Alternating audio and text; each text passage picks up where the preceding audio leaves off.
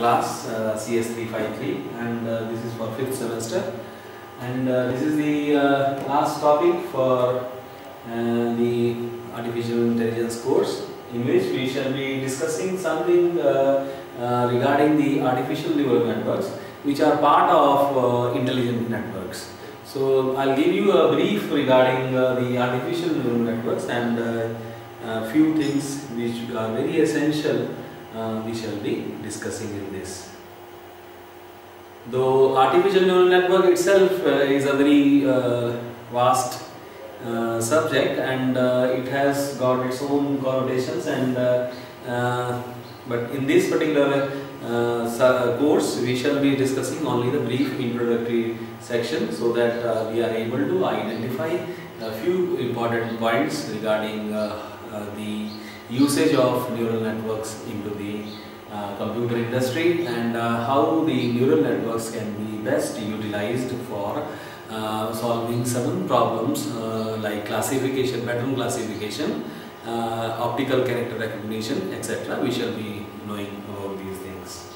So in this particular today's lecture, I shall be covering uh, biological inspiration, how this neural network has been a part of uh, the computer science, though neural neurons, it has derived its uh, uh, itself from the human um, body neurons and uh, it works almost the same way as that of the neurons that are found in our body.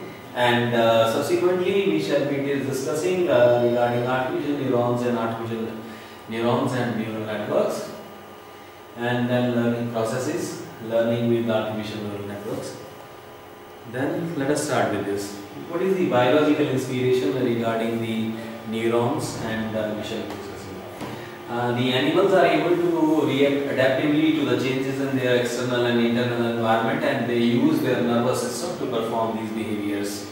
Uh, an appropriate model models simulation of the nervous system should be able to produce similar responses and behaviors in artificial systems. The nervous system is built by relatively simple units, the neuron, so copying their behavior and functionality should be the solution. So this is the most important point regarding this. Uh, we have already discussed uh, this aspect of uh, uh, the behavior and the functionality of, and should be the solution. Uh, we, they are, because they are made up of the smaller units and uh, we shall be using these units uh, for solving certain problems and they are purely based upon uh, they are able to react adaptively to the changes in their external and internal environments and they use their nervous system to perform these behaviors. So we expect similar kind of uh, behavior of the machines also. Now what kind of uh, is, what is the biological inspiration? For example, if we talk about say adaptability of the human beings to the surroundings, uh, it is the best and the uh, we expect the similar kind of expectations from the uh, neurons in the uh, artificial neural networks. Now, uh, the structure of neuron, it is made up of dendrites, soma, that is called the cell body, and axon. Uh, it has this type of uh, structure, which we shall be able to see in detail also. And this is the biological inspiration that it is made up of uh, soma, axon and dendrites. Then we have next thing biological inspiration for the uh, continuum. This is the axon, then dendrites, synapses, and uh, uh, the information is uh, transmission happens at the synapses. So here we can uh, discuss a few things regarding this. Uh, the, the basically there are four parts and uh, uh, there are four parts and uh, the first part that is the dendrons they or the dendrites they accept the inputs and the soma which is the process unit and it processes all the information that is being received and similarly uh, we have uh, the axon which turns the process inputs into the outputs and uh, synapses uh, the, the, the electrochemical contact between the neurons. Uh, synapses provide the electrochemical uh, uh, electrochemical contact between the uh, the um, between the different types of neurons that we have. And now this axon. So we have the axon is connected with the other things and uh, the turn the uh, processed inputs into the outputs and uh, the dendrites they accept the inputs. So in the biological neuron, in the biological neuron we have uh, uh, cell body, dendrite, soma and axon four major parts and uh, dendrites we have cell body, we have cell body, soma, dendrites uh, and axon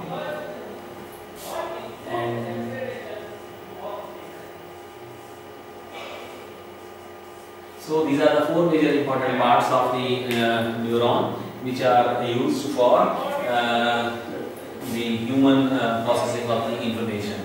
So we have uh, to uh, use the similar kind of structure in the uh, neural networks that are developed artificially by the human beings.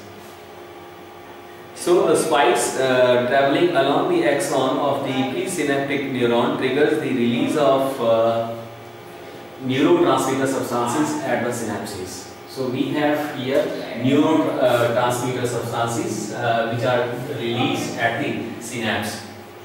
The neurotransmitters cause excitation or inhibition in the dendrite of the postsynaptic uh, neuron. Now this is the excitation or inhibition in doing something. Excitation means if your threshold is beyond a particular limit then uh, you will perform certain tasks and uh, inhibition means if the uh, the uh, the the neurotransmitter that is being received does not create any sort of uh, excitation, then inhibition process that is the dendrites of the postsynaptic neuron. The integration of the exciting and inhibitory signals will produce spikes in the postsynaptic neuron. So we have uh, the generation of spikes that is ups and downs we shall be receiving regarding this and uh, the integration of the excitatory and inhibitory neurons uh, may result in the uh, the uh, uh, in the excitatory or the inhibitory signals being generated. So the contribution of the signal depends upon the strength of the synaptic connection. So what kind of synaptic connection do we have? Uh, that synaptic connection will be helping us in doing the things. So we, in the next case we shall discuss the artificial neurons. The neurons work by processing the information they receive and provide information in the form of spikes. Now, uh, this is a kind of a model which was given by McCulloch-Pitts uh, neuron model. And uh, here there are several inputs in this particular case. We have mentioned here uh, uh, x1, x2, x3, xn minus, xn minus 1 these are all inputs and these are the weights that are associated with each individual nodes of the inputs. W2, w3, wn minus 1, wn and this is the processing unit where the processing will take place and the neuron will fire or generate the output depending upon the input. So we have to find out what kind of input we have received. So here that is equals to i raised to power 1 to n and wixi and uh, y we calculate the value of y. So here it is a product of weight of the individual node into the uh, input. So Wixi is summation of Wixi is going to give us the final input and then it, on that basis we shall be able to find out whether the neuron will fire or not according to the threshold uh, according to the neuron model. So the McCulloch-Pitts uh, neuron model, the spikes are intercepted by uh, interpreted as spike rates. Synaptic strength are translated as synaptic rates Excitation means positive product between the incoming spike rate and the corresponding synaptic rate because uh, the it is a product of Wi and Xi. Now we are getting the, uh, the the excitation means positive product between the now this this can be positive or negative uh, that is the end result of the product. So it depends upon uh, the multiplications. Uh, so the product will be positive or negative. Uh, if it is positive, then excitation will take place, and the spikes that it is receiving are multiplied with the weight vector. So these are this is the input uh, uh, spike, and this is the weight associated with it. So if we are multiplying these two things, when the spikes are being generated and it goes beyond a particular limit, then the uh, neuron has to fire. So inhibition means the negative product between the incoming signal and the uh, incoming spike rate and the uh, corresponding synaptic rate. This is the synaptic rate it. So what do we learn from this particular slide? We learn from this particular slide that there is a product, uh, we have to find out the product of weight into the corresponding input uh, spike and if the product is positive then in that particular case the output will be uh, excited and uh, if the product is negative and in that case the output will be inhibitory. So let us discuss the next slide. Non-linear generation of the McCulloch-Spitz neuron model. Non-linear generation of McCulloch-Spitz neuron model.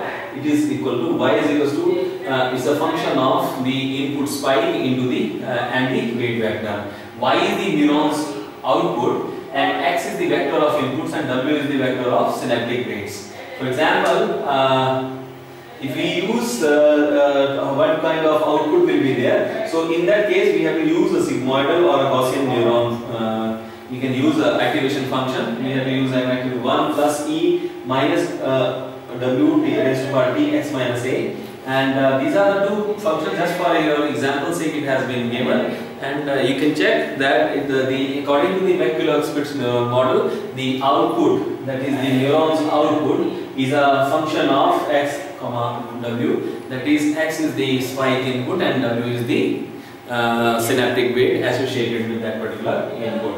So we can find out on that basis we can find out the value of uh, the output. So further if we go into this process of uh, finding out the activation function which is uh, generally given as uh, say if we take up a binary sigmoidal function binary binary sigmoidal function, binary sigmoidal function, then uh, we can take up y is equals to 1 by exponential minus, uh, we can take up uh, 1, uh, 1 plus exponential minus sigma x Okay, so uh, minus sigma x. Therefore, in that particular case, what is going to happen? Uh, that is sigma. Uh, we have we can associate the particular value. The sigma is called the steepness parameter, and this steepness parameter, this particular sigma, is the steepness parameter, and uh, x is the spike input. Spike input.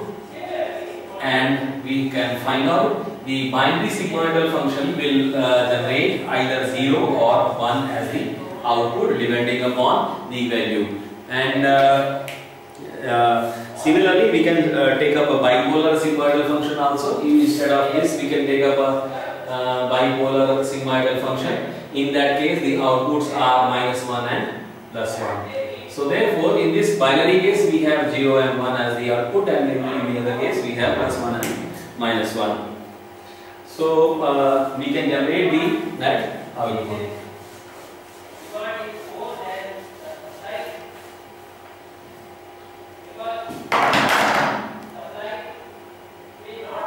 Then artificial neural networks, let us uh, continue further. So we have a set of inputs they are processed, uh, they are, there are hidden layers also, we have not shown here and uh, the processing takes place on these nodes and finally we get the output.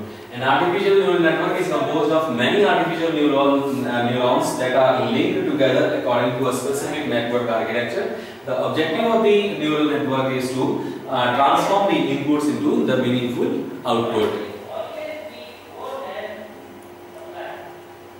So the task to be solved by artificial neural networks controlling the movement of the robot uh, based on self-perception or other information that is the visual information. Controlling the robot through the uh, visual information that it is getting. Deciding the category of potential food items, for example, edible or non-edible in an artificial world. Uh, recognizing that is based upon pattern recognition. Recognizing visual object, familiar face, predicting where moving object goes when a robot wants to catch it. So these are a few things, uh, few areas where it has been successfully employed.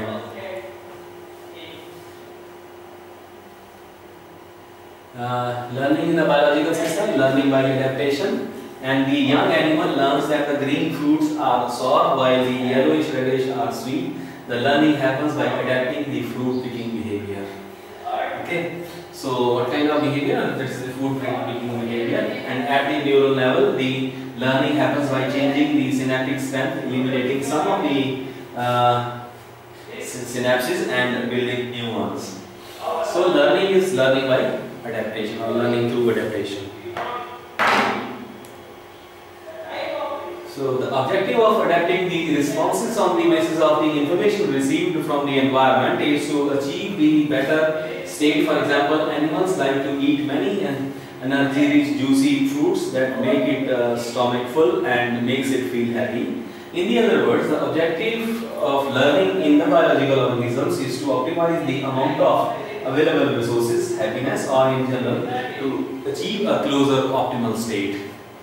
That is the basic target of it. Animals like to eat many energy-rich juicy fruits that makes the stomach.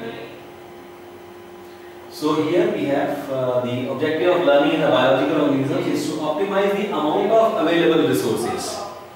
Amount of uh, available resources. Uh, okay. So here in the next case, the learning rule of Hebb. Uh, synchronous activation increases the synaptic strength, asynchronous activation decreases the synaptic strength. This is the most important point regarding the Hebbian learning rule. The Hebbian learning rule states that uh, if uh, the by joining this uh, these two, uh, let me read it for you. the Hebb's learning rule is the most famous of it when the axon of cell A and the axon of cell B are excited enough uh, and repeatedly persistently take part in firing, some growth process or metabolic changes takes place in one or both of the cells that A's efficiency as one of the cells firing B is increased. The learning can be called as correlational learning. Now, if there are two neurons, uh, let us say A and E, and uh, they are excited enough to fire, and uh, due to the firing of A, B also gets excited to get fired. And uh, the uh, Hebbian learning says uh, either there, there is a positive uh, firing, some growth process will take place or metabolic change will take place. And uh, in the other cases so we can uh, split this statement into two things that is if the neurons are either side of synapse are activated simultaneously the strength of that synapse is selectively increased. This is the first important point and this is the first point and this is the second point. Asynchronous activation when A and B are uh, A is excited and B is uh, inhibited then that is called as asynchronous excitation. In that uh, case activation that it decreases the synaptic strength. So we have to note down this important point regarding this is that uh, the synchronous activation in uh, the, the uh, synchronous activation increases the synaptic strength and uh, B asynchronous activation decreases the synaptic strength. If we have a positive uh, activation, it will definitely increase the synaptic strength. The rules uh, fit with the energy minimization principles. Maintaining synaptic strength needs energy it should be maintained at those places where it is needed and it should be maintained uh, at places where if not needed. So let us see the energy minimization. We need an appropriate definition of energy for artificial neural networks and having that we can use mathematical optimization technique to find out how the change uh, the uh, of the weights in the of the synaptic connections between the neurons So energy, measure of the task performance error. Measure of the task performance error we have to note down. So let us uh, talk about this one. So if we have, uh, this is the this diagram shows that uh, we have several inputs and there is corresponding only there is one output. Here it is showing y1, y2, y3, y3, y4 uh, at the first stage and uh, we have x1, w1, x2, w2, and x3, w3, x4, w4. Uh, they are, as we have already stated, they are based upon the function. So y1 uh, is this one and y2 we can have in several stages like this we can show and finally the output that is uh, y2 that is from the second stage it is showing here y2 the second stage and the product of uh, this because there will be intermediate stages also we have to take care of those stages also and then it is uh, the function of uh, the spike input and uh, the corresponding weight associated with the that is called the synaptic weight. Now there can be intermediate stages uh, inside the neuron model itself so we have to take care of all those intermediate stages as well. So we can say uh, in, in the case of neural networks we have uh, neural network input and output. Uh, the output is a function of x comma w where x is the spike input and w is the uh, synaptic weight. W is the matrix of all the weight vectors associated with it. So let us take McCulloch's Pitts neuron model which was given in 1943 that WI1, WI2, WI3 and several W's, several weight vectors and uh, through the different nodes summation and then finally you have to find out the value of the neuron that is the synaptic weight and binary inputs uh, they are in the 0 or 1 and then we have a threshold. If it is beyond a particular threshold the neuron is going to fire. If it is not beyond a particular threshold the neuron is not going to fire. So we have to see this and uh, let us see this one so here in this particular diagram is the same we have here uh,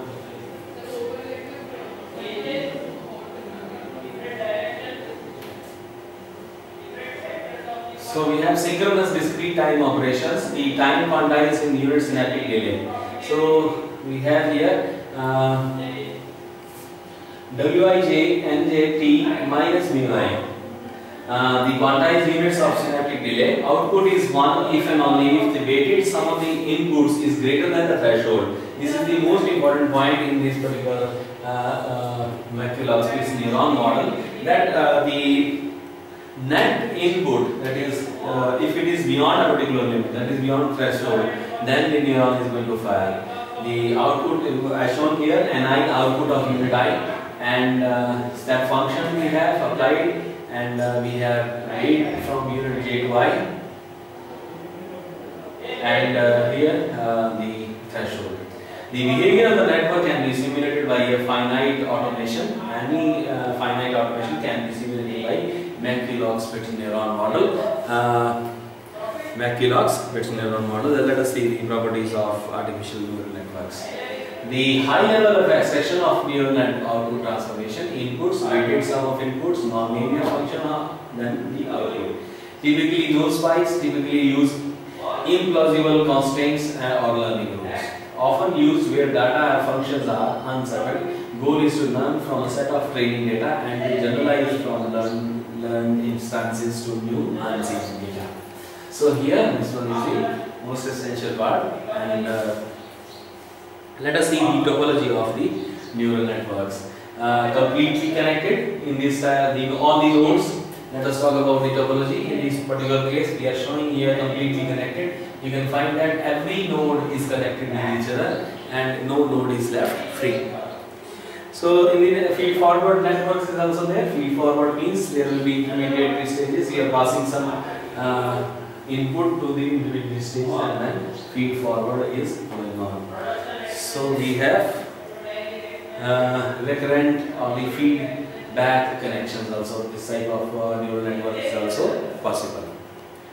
So let us see uh, the feed forward uh, uh, neural networks. Feed forward versus the recurrent networks. Feed forward, no loops, inputs, hidden layers, outputs.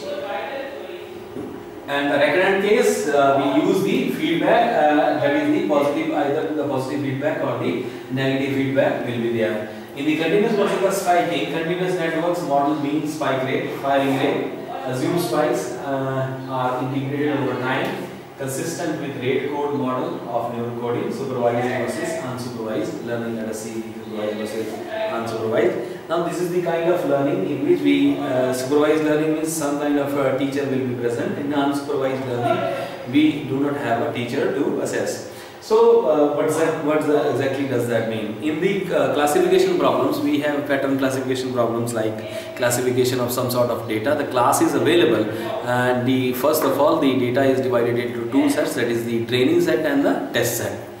Now the, in the case of training set, when we are training the model, in that case the class will be present and the uh, uh model will be able to learn from the uh, classes and the corresponding data. But uh, in the case of uh, unsupervised learning, the, the model is going to classify the data according to the patterns that are available and uh, no such suitable class information is previously available in that case. Clustering is such example of uh, the unsupervised type of learning. And uh, we have several uh, methods in doing so.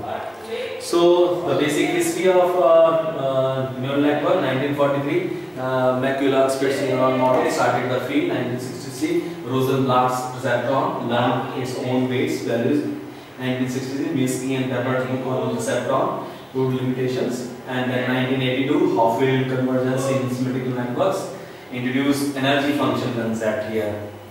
Uh, backpropagation 1986 method of training multi-layer neural networks. They are the most essential, most popular present nowadays is the backpropagation neural network. Presently, probabilistic interpretations, Bayesian and spiking networks are also present. So, this is all for today and uh, we shall be covering the next part in the next set of uh, video lecture.